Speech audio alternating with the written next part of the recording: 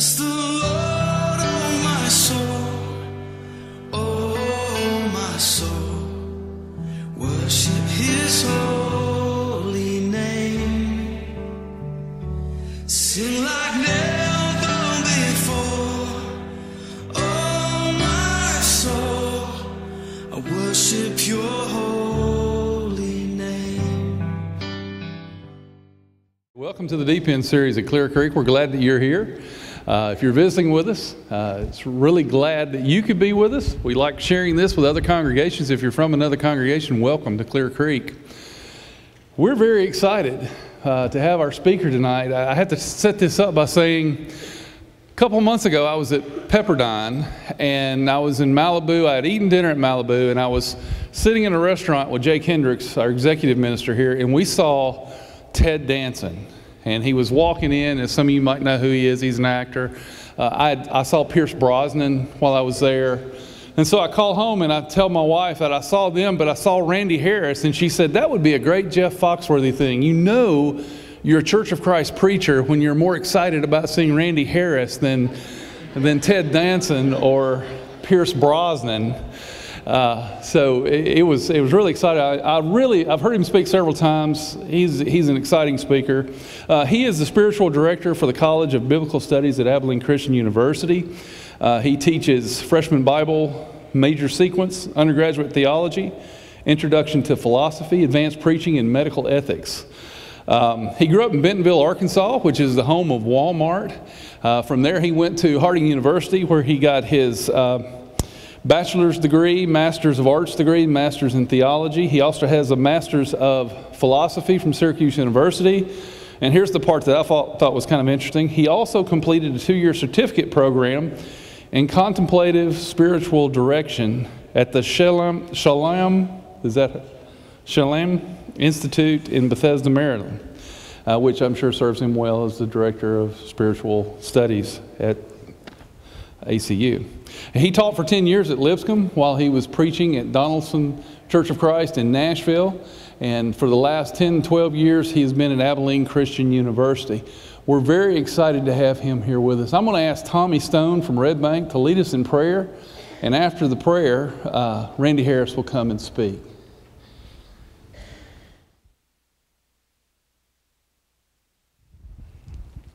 Let's pray. Dear Lord, we're so thankful for a beautiful evening, time to be together. Father, we're thankful for your church. And Father, help us to never forget where our marching orders come from. Father, tonight, as Randy shares with us what it means to be bold disciples, bold followers of Jesus, so what that means for us, Father, help us to, to really listen and be willing to not accept uh, being complacent but to always be steadfast, immovable, and always abounding in the work of the Lord. Father, thank you for your servant who's going to be speaking tonight to us uh, and the things that he's going to share. Uh, may they challenge us, may they move us uh, forward. In Jesus' name, amen.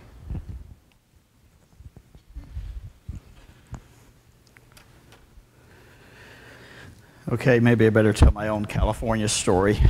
Um, last summer, not this summer, I kind of decided I would spend the whole summer out of the country. And so I, I, made four international trips. And right at the end of the summer, I was also making a trip from Detroit to uh, California. And, and, the plain fact of the matter is, I'm too old for that. And so the time I got to California, I was in really pretty bad shape. And uh, I was out uh, in front of the LAX airport waiting to, uh, to be picked up to go to my speaking appointment, and there was this guy who was just staring at me. And, you know, this is Los Angeles, so I'm slightly uneasy. Uh, and so finally he comes up to me and he says, Are you Don Rickles? Uh, and, and, Don Rickles is about 85 years old, and, and so I decided that the summer's travel had been even harder on me than I, than I thought. Um, okay, that was a pretty kind introduction, so let me introduce myself uh, my own way, uh, and, and, then we'll listen to uh, some text. Um, I had the opportunity to do something a few years ago that very few people ever get to do. I performed the wedding ceremony for my father. Um, My mother died of a brain tumor. My father developed a romance with an old family friend whose husband had died a few years before. I got to do what no boy should ever have to do, teenagers. I got to watch my father date. Uh, and after that gruesome spectacle, they asked for permission to get married, and my brother and I didn't give it right away, and then we started thinking it through. And marrying off your aging parent to a slightly younger spouse is one of your better options. Uh, it's way better than having to move in with you, so. Uh, then they did the ultimate dirty trick. They asked me to perform the ceremony, and I didn't know what to do. You know, I'd ask my friends in ministry, I don't know, what do you say? Do you, Dad, take Melba? That didn't sound quite right. So, so here I am. I'm performing this ceremony, and uh, uh, this wasn't part of the introduction, but you probably should know this. I'm very happily single. And so here I am marrying two people who had had both, both of them had had 35 year marriages. And, and so lecturing my father on that just seemed like a bad idea. So I skipped that part and went straight to the I do's. Afterwards, my, my dad says, uh, Randy, what happened to the sermon there? And I said, Well, you know, Dad, I just didn't feel like I had any credibility in that area with you. He says, Randy, you're my son. You don't have any credibility with me in any area. Uh, so I'm guessing that even with that kind introduction, that's our situation here. I'm also guessing, because you're here, uh, it's highly likely that Scripture has very high credibility with you. So rather than trade on my credibility, I'm going to kind of trade on the credibility of Scripture and try to get my, my ear really close and, and listen to the text. Um, and I'm sorry, Mitch, you've probably heard all this uh, before, but uh, as I recall, you'll probably need to hear it again. Uh, Mitch was a great student. We got off to a little bit of a slow start. He, he comes to my office and says, Mr. Harris, why am I getting an F in your class? I said, Well, Mitch, there's nothing lower. Um, but, but it got better after that. It did. Okay, let's start grim. Uh, for years, uh, in the United States, we've been saying things like on any typical Sunday morning, 40% of the population of the United States will be in church somewhere. We now know that that number is not even close. That number is a result of what is sometimes called the halo effect, which is a really interesting thing in sociology. Best example of this effect is this. Uh, I don't know if you've noticed this, there's an election coming up. Uh, after any election, if you ask people if they voted, the number of people who will report voting is much higher than the percentage of people who voted. Everybody with me? Okay, where I'm from in Arkansas, we don't call it the halo effect, we call it lying. Uh, okay. People lie about voting. Guess what else they lie about? Going to church.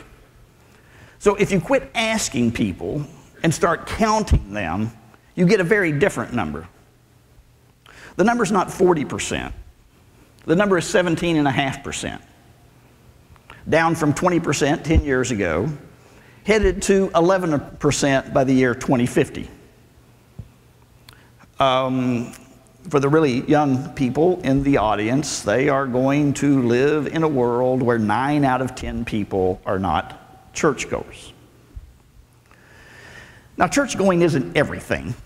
There's some really bad people who go to church, and there's some probably deeply spiritual people who don't. But it is something we can count.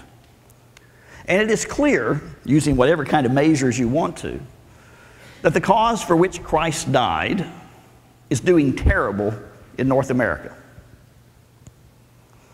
It's not doing terrible all over the world. It's doing pretty well in some places, like, say, China. Um, best estimates are that in the year 1900, about one half of 1% of the people in China would have claimed to be Christian. Now, the most conservative estimates say that number is 7%. And you think 7%, that's not much. We're talking about China. Can you do the math? Let me help you. That is 7% of infinity. Without church buildings, in primarily underground churches, there are more Chinese Christians than there are American Christians. Chinese Christians are preparing to, to, to the gospel around the world if their borders ever open.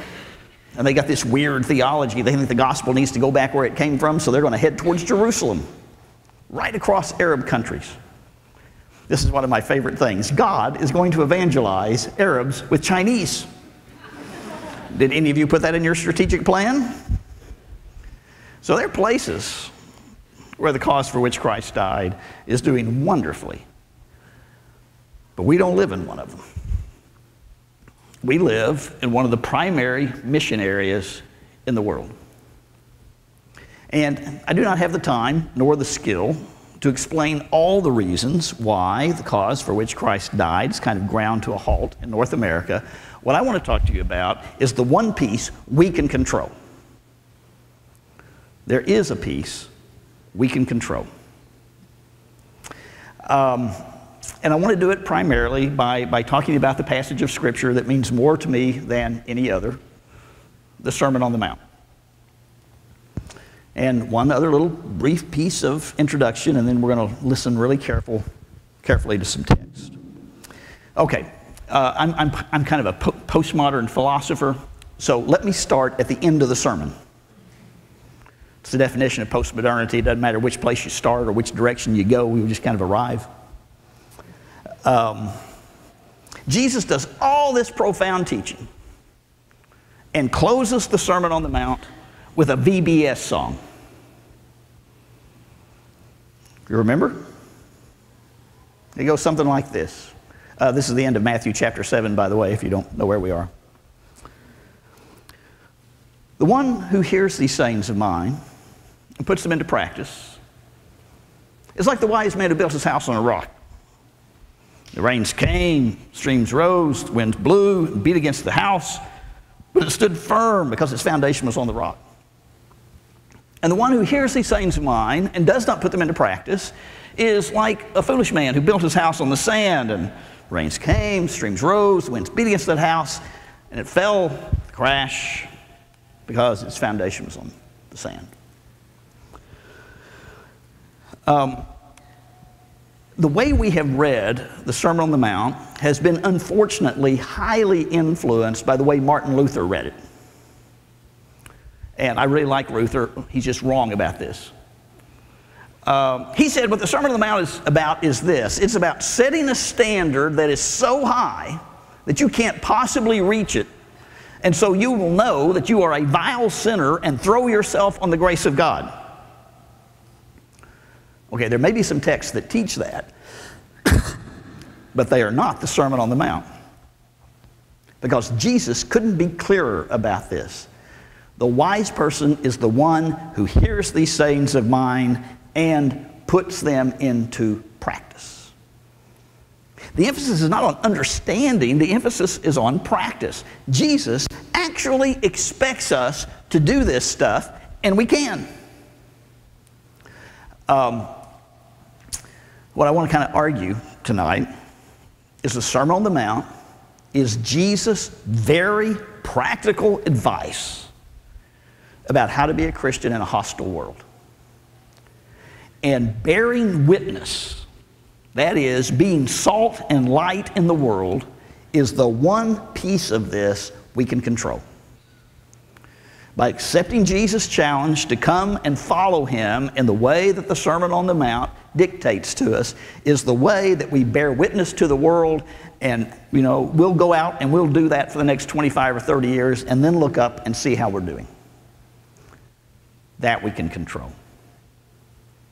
Okay so uh, the heart of the sermon is in chapter 5 where Jesus gives six examples of what it means to be a follower of Him.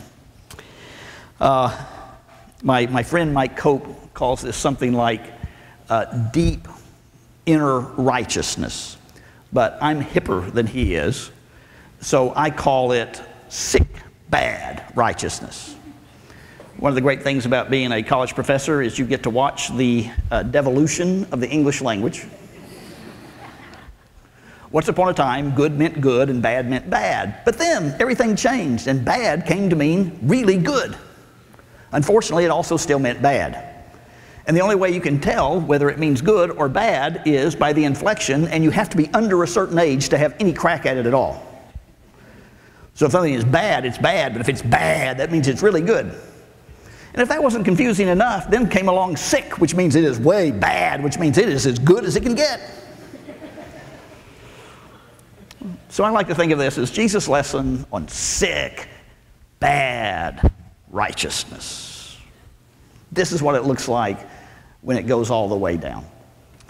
And there are six examples, and tonight I don't have time to do all six. And so, judging by my audience, uh, I'm going to skip the ones that have to do with sex. Uh, that has to do because some of you are too young and some of you are too old. and so I would miss huge swaths of my audience. Uh, Tony Campolo says he's at that stage in his life when his wife says, Let's go upstairs and have sex. He says, Well, I can't do both. Uh, okay, so some of you are at that stage of your life, and others of you are on the other end, and either way, I'm uncomfortable with it. Okay. So I'm going to take, I'm going to take three and, and see if I can kind of, uh, kind of make the point here, and then I'll. Uh, I'll sit down. Uh, example number one. You have heard that it was said by those of old, You shall not murder, and anyone who murders will be subject to judgment. And I read that, and I am feeling so good about myself because I haven't killed anybody all day. and it's late in the day, I, I got a shot at this. And then Jesus says, But I tell you, anyone who is angry with his brother is subject to judgment. The one who says, Raca is in danger of the Sanhedrin, the one who says, You fool, is in danger of the fires of hell. So when you go to offer your gift at the altar, if there you remember that your brother has something against you, first go and be reconciled to your brother, and then come and offer your gift. So Jesus says. Okay, this is my question. I'm guessing on murder, you're doing rather well. I'm going to know how you're doing with your anger. Because Jesus says, anger is what fuels this. Um, after, uh, after Mitch had, uh, had left ACU for a few years, I taught a huge freshman Bible class on the life and teachings of Jesus. We had 300 people in the room. Everything from people who've been through Christian schools their whole lives to people who do not know what a chapter and a verse is. So I'll do anything I can to try to make the point. So I'm going to teach this text on that day. and as I'm walking into the room, I have this great idea. Now, those of you who teach know this is already starting out badly. You know, when you act on ideas you have going into the room. So I see a kid sitting at the back of the room, before class starts. I go over and I sit down beside him and I said, Can you act? He says, Act. You mean like drama? And I says, Yeah. And he says, No, why? And I said, I need some student to act like they are so angry with me, we are going to try to convince the class that we are going to get into a physical altercation. And he decided that wasn't such a big stretch that maybe he could do that. he says, Okay, what do you want to do? And I said, This is what I'm going to do.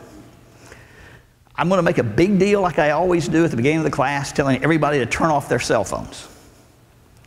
And a few minutes into my lecture, I want you to make your cell phone go off loudly. And when you do, I'm going to come after you. And I'm going to be really ugly to you. And I don't want you to back off. This is what I want you to do. And we're going to convince the class that we are going to get into a fight. He said, This will never work. I said, It will if you don't overact. and at no point are you to touch me. Uh, it's very important with freshmen to get clear about the rules. So here we go. I'm, I'm teaching this text. A few minutes into my lecture, he makes his cell phone go off loudly. So I walk towards him. I said, Was that your cell phone? He says, Yeah, I'm sorry. I didn't mean for that to happen. I apologize.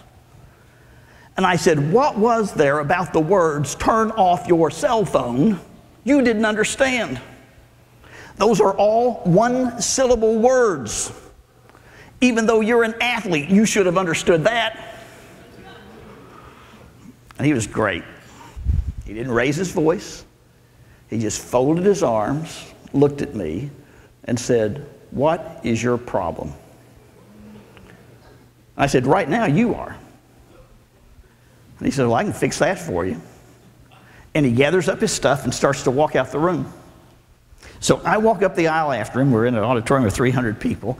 And I yell at his back, The next step you take had better be towards me. And he walks back up and stops right here. you could have heard a pin drop. I now have 300 freshmen and 10 teaching assistants who think we're getting ready to get into a fight. In fact, one of my teaching assistants said we have a international student who still doesn't know what happened. Uh, so, so I throw my arm around the student and I look at the class and I say, "Gotcha." And they don't laugh. They they are so upset. It is a full five minutes before I can kind of get them calmed down. And I said, "Okay, now let's have a serious discussion." I said, Why did you believe that? Have I done anything in the six weeks that you've been in this class that would make you think I would act that way? Why did you believe that? And then because they're freshmen, I said, okay, now the next part you're probably going to want to write down because I'm getting ready to give you the answer. This is the reason you believed it. Because the whole world is crazy. That's why you believed it. We are also defensive. We are also angry. We are also YouTubed. That that is exactly the way we expect people to act. And Jesus makes it clear that that is not who we are. We don't stop before we murder. We start to get a handle on our anger. Now, I, I, travel around a lot and do a lot of things like this. I'm, I'm with a lot of Christians, and I got to tell you, Christians are some of the angriest people I know. And if you ask, what are they angry about? The answer is yes. it seems to be free floating, principled anger. They're just angry. And I guess I just want to say that if there are any people in the world who ought to be calm and sane and non angry, it's Christians because we're the ones who know how this story ends. We're the ones who know in the fullness of time every knee will bow and every tongue will confess that Jesus Christ is Lord. Um, some of you are probably familiar with the book uh, Unchristian, which is basically looking at how those young adults who are not Christians view Christianity. And the three things they say about Christians, the big three, the top three, there's six, but the top three are Christians are anti gay, judgmental, and hypocritical. Now, I don't know whether that's fair or not, but I got to tell you, I don't like it much. What I would like the first thing on the list to be with, would be this Christians, you may love them or you may hate them, but the one thing about them is this of all the people in the world, they are the least angry. They're the less, least defensive. They're the least ready to fly off. They're the sanest people I know. And following Jesus' teaching, they care more about relationships than they do worship. If you go to offer your gift at the altar and then remember that your brother has something against you, first go and settle things with your brother, then come back and offer your gift. Christians are the ones who have their priorities straight. They know our relationships matter much more than our worship does. At least, that's what Jesus thinks. Example number two. You have heard that it was said, You shall not break your oaths, but keep the oaths that you make to the Lord. But I tell you, don't swear at all. Either by the heavens, for it's God's throne, or the earth, for it's its footstool, or Jerusalem, for it's the city of the great king. Do not swear by your head, because you cannot make one hair white or black. Just let your yes be yes, and your no be no. Anything else comes from the evil one. Okay, this passage is not about swearing. This passage is about integrity. Um, okay, today, if you want to tell a lie and you don't want it to count, what do you do? Cross your fingers. By the way, there's a statute of limitations on that. After 18, that doesn't work anymore. In the old days, if you wanted to tell a lie where it wouldn't count, you didn't swear by anything important. And if it turns out you didn't tell the truth, you say, yeah, yeah, but I didn't swear by heaven, I didn't swear by earth, I didn't swear by Jerusalem, I didn't swear by, by my head, I didn't swear by anything important. That's the way you got away with it. And Jesus comes along and says, I want you to have an integrity that runs so deep that when you say yes, it always means yes, and when you say no, it always means no, and there's no oath you could take that would add anything to your word. Um, there is some excellent recent research on honesty and dishonesty. And this is what the research shows almost everybody lies and cheats and steals some. Not a lot, but some. Some people do it a lot, but they tend to get caught. Most people lie, cheat, and steal some, but not a lot, because they want to be able to lie, cheat, and steal and then look in the mirror and think they're good people. And what they do is they try to find that place where they get the advantages of lie, cheating, and stealing, but don't tip over to that point where they can no longer look in the mirror and say, okay, that's an honest and good person. And that's where we try to live, in that tension. But Jesus says, no, no, no, no, no, no. Just don't even start. Um, one of the things I teach at ACU is uh, ethics. And uh, my students are death on public figures who do something wrong and then try to lie their way out of it. And I was just sort of wondering, I wonder if my students are any different.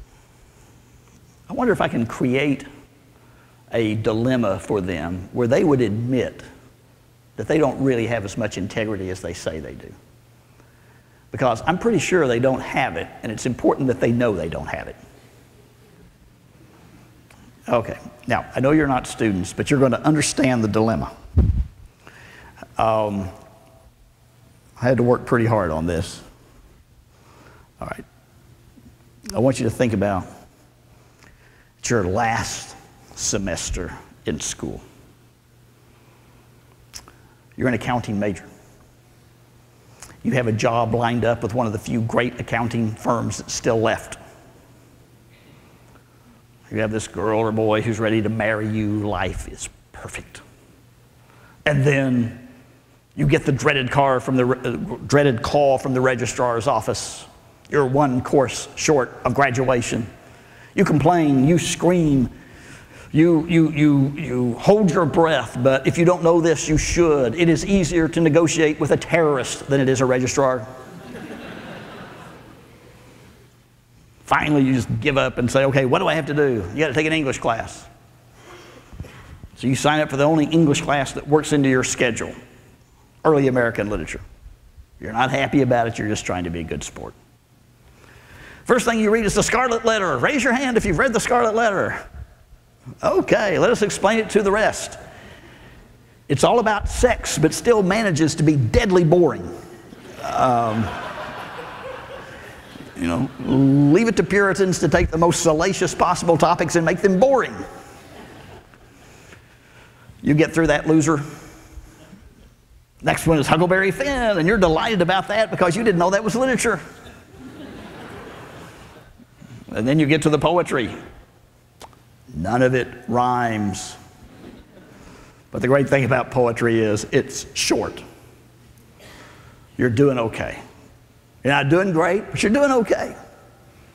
And then you come to the last assignment in the course, which is to read the great American novel called by some correctly the American Bible,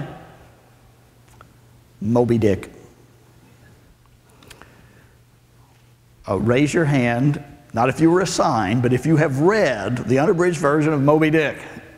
Okay, few hands. Uh, my favorite abridgment of Moby Dick has one line uh, Everyone dies but Ish and Fish. Um, Moby Dick is 800 dense pages about whaling. You're from Kansas.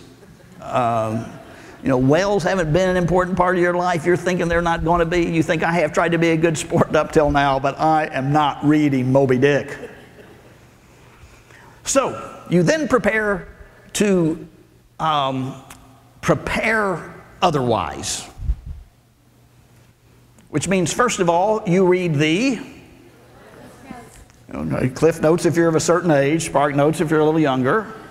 It's the same difference. You figure whoever wrote those things is going to understand the book better than you would have anyway. But you're a good student, so you don't stop there. You watch both movies. the old one with Gregory Peck and the new one with the Star Trek guy. Get the visual effect. You're not, I understand there's another one out there now that I haven't, I haven't seen yet. Um, you're not expecting to make an A on this test. You just want to get a C and get on with your life. You get to the test, and this idiot of a professor has put only one question on the final test Did you read Moby Dick? If you say yes, you get 100. If you say no, you get zero. If you tell the truth, you get zero on the final, you fail the course, you don't graduate, you, you lose that job you've got lined up, and that guy or girl who is going to marry you is probably not going to marry a loser like you. Would you tell the truth in that situation? It's interesting. I present that, and then I have students who I didn't think could think at all who become theologians. Oh. Let's see. God is timeless. So I can say, I read it, read it later, and it'll be the same to God.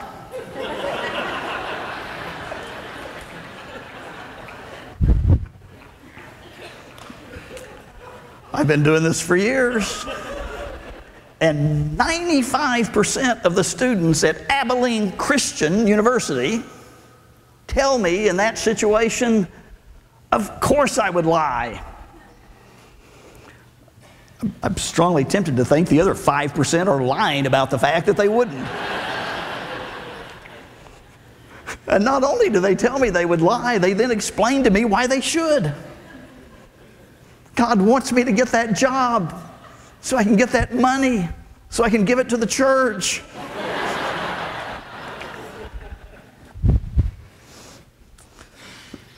Um, back when I was speaking, uh, teaching at Lipscomb, uh, we had a really well known speaker doing chapel one day, and I'm not going to tell you who it was. I'm getting ready to say something nasty about him. and he says, I want to talk to you about integrity. And I got excited because we do have some integrity issues out there. And he said, I went and I talked to the three most successful people I know And I asked them, To what do you attribute your success? And all three said the same thing integrity. Sitting on the front row, I think I did something like this. Thinking to myself, you will never recover from that. Because the first thing out of your mouth, you've told students the reason they should have integrity is because it leads to success. Anybody can have integrity when it leads to success. The question is, will we have integrity when it leads to the cross? That's the question. That's the Jesus question. And if you're going to tell the truth in a situation like the Moby Dick dilemma, there's only one reason why. And that's because that's the kind of person you are. The primary identity of Satan in Scripture is he is the one who lies or deceives. Um, I, I, have a group of, of guys who have covenanted with me to live under the discipline of the Sermon on the Mount. And we're constantly engaged in challenges to live out particular aspects of it. And uh, I, I, will admit, with, with my 18 to 22 year old guys, the, the passages that have to do with lust are a, are a prime problem for us. But along with that, the one that they would tell you is the biggest problem is this let your yes be yes and your no be no. Because as a society, we have just let the bar get so low on truth telling. And I guess what I would love for people to say about Christians is this you may love them, you may hate them, but the one thing you can count on is of all the people in the world, they have the greatest integrity. When they say yes, it means yes. And when they say no, it means no. And just when you think it couldn't possibly get any worse, example number three. You have heard that it was said, You shall love your neighbor and hate your enemy. But I tell you, love your enemies. Pray for those who persecute you, that you may be the children of your Father in heaven. For he sends rain to the righteous and the unrighteous, and sunshine to the just and the unjust. Because if you love people who love you back, that makes you exactly like every pagan in the world. Even the worst people in the world, tax collectors, do that. And if you only love people of your own tribe, how does that, uh, how does that make you different from anybody else? So be perfect as your Heavenly Father is perfect. Um, I had the misfortune a couple of years ago to preach this text at uh, Pepperdine at the lectures. Um, after I did, did it the best I could, after I got done, had a guy come up afterwards and said, I'd like to talk to you about your uh, lesson. I said, Great, I can't think of anything I'd rather do. Um, And he got kind of teary, and so we got serious. I said, Tell me what's on your mind. And he said, I had a son in the war, uh, and he got killed. And my heart was so filled with bitterness and hatred for a whole group of people. And this text kept calling to me. And so, for whatever reason, he had, he had lost his dentist. I don't know if he had retired or moved or something. He needed to do dentist. He lives in a big place. So, he gets his phone book down and starts looking for dentists that have Iraqi names. He wants an Iraqi dentist because he wants to make a relationship because he's determined he is not going to hate a whole group of people. It's clear they had the wrong guy preaching the text that night. He gets it. I don't want to let you off the hook too easily because you may be like me. You may not have lots of enemies. I, I don't really have enough going on in my life to sort of make enemies. I'm too bland to make enemies. I've got two or three, but they're, they're, they're, mostly quiet. and, and one guy used to write me up all the time. And, oh, it was aggravating. Had a colleague move to town. He started writing all sorts of nasty things about him. My colleague's a lot more spiritual than I am. He says, You know, brother so and so, I've been praying for him every day. I'm thinking to myself, Well, I've been praying for him every day too, but he's so, still in good health so far. Uh. So I may have somebody out there. But for the most part, I don't have enemies. What we all have in our lives, whether we have enemies or not, what we all have in our lives are irritants. The primary definition of an irritant is, is a person who does not know how irritating they are. You ever been around people who had absolutely no concept of the impact they were making on other people? Um, when I think about this, I think about a student I had at, at Lipscomb years and years and years ago. The most socially inept student I have ever known. And that's saying something because the competition is fierce.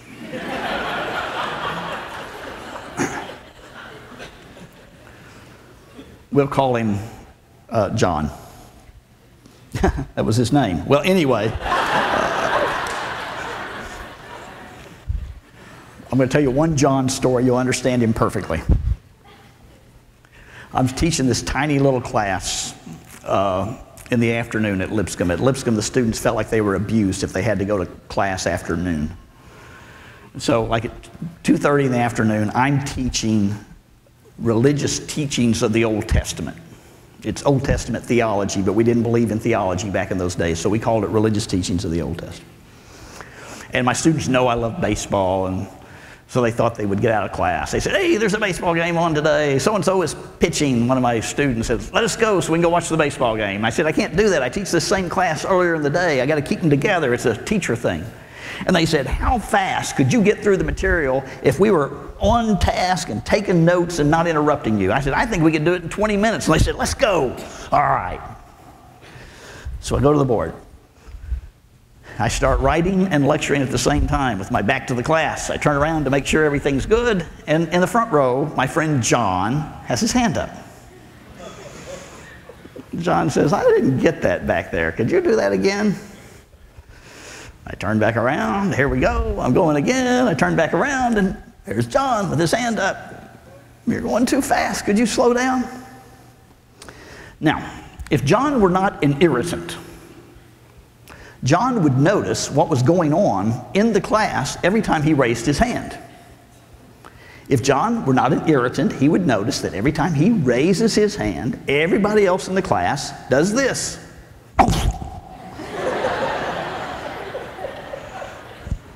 but Don, John doesn't notice this because he's an irritant. I turn back around, I start writing, I turn around, John's hands up, guns and knives have appeared all around the room. We have a developing situation of which John is oblivious.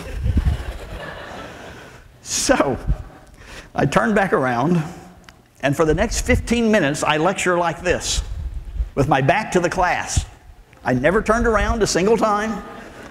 John's hand was open up the whole time, and I know that was rude, but I saved his life, and it seemed more important at the time. Um, there's a real sense in which John was incapable of friendship. However, a few of our students, very few, our most mature students, befriended him. And I can tell you what they got out of it nothing but irritation. Listen to what Jesus says. When you love people of your own tribe, when you love people who love you back, that makes you exactly like every pagan in the world. What sets followers of Jesus apart is they will love the enemy and the irritant. People who refuse or are incapable of returning their loves. That is the mark of being a follower of Jesus Christ. And I would love it if people would say, you know, Christians, you may love them or you may hate them, you may agree with them or not agree with them, but the one thing you have to say is this they will always love. No matter what you do, you can't keep them from loving you. I guess I would like to replace anti gay, hypocritical, judgmental with Christians are the most sane, least angry, most honest, and loving people in the world. And if we live that out for the next 25 years, we might look up and see a much different world. Jesus says wisdom is found not in understanding this, but in doing it. And we can. Not perfectly, but seriously, persistently, relentlessly. And I will show my biases. I think our world, I think our families, I think our own lives would work so much better if we just accepted Jesus' simple teaching on how to do life and go tagging along behind Jesus. Well, that's what I came to say. I have a little group of guys who have covenanted together to try to live out the Sermon on the Mount.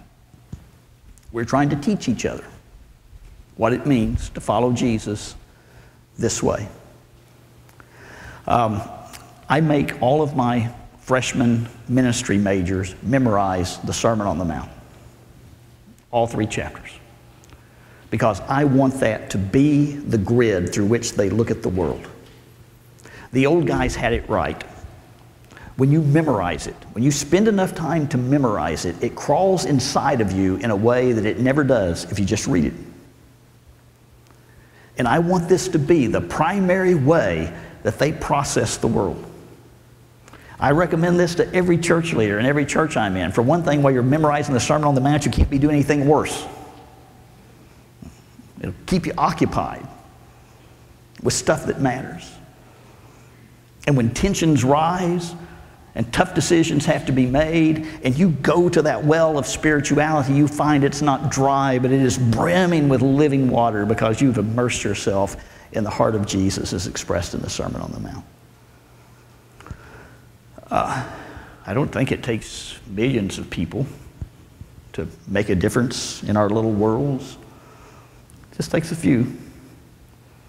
It's not the size of the number of people, it's the density and intensity of our commitment to do life this way.